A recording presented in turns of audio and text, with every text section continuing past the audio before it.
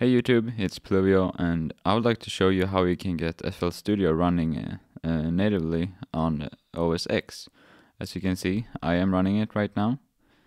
And uh, the reason I can do that is because I bought it for Windows. And when you buy it for Windows uh, and you go to your profile page uh, on the imageline.com website, it should say that you have one commercial offer and uh, here it will say also own a Mac, test our FL Studio OS X Alpha. So then you can just go ahead and click and download that right here. And if you click on the limitations link, you will get to the forum post uh, that will talk about uh, what's working and what's not working. And this is also where you should report any bugs that you're having using the program.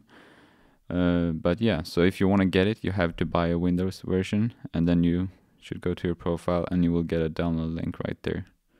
So then you can use it. Uh, I've been using it for a while, and it is working uh, pretty good. They just came out with the what a while ago uh, with drag and drop uh, right here. That's what I was missing because I use that all the time when I drop samples over here and in the playlist. So if you have any questions about this, please leave a comment, like and subscribe, and I will see you later.